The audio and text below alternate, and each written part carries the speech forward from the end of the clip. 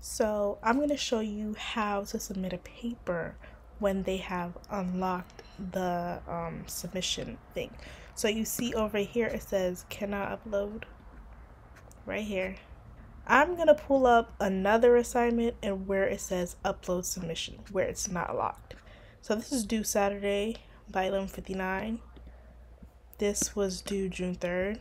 As you can see, it's June 5th so it's locked. Now what I'm going to do is I'm going to go to the one that says that I can upload on.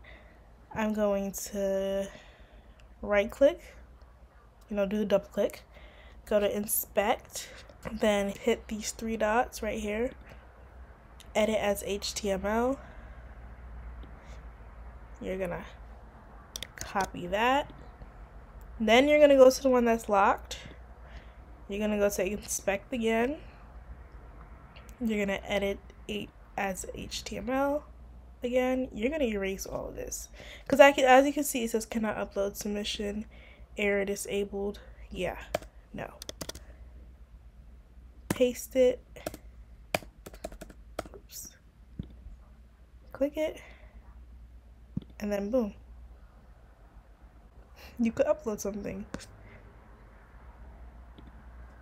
Look, I'm going to show you before, it was not letting me upload anything, right? You have no active papers in the assignment. But after I went and did this,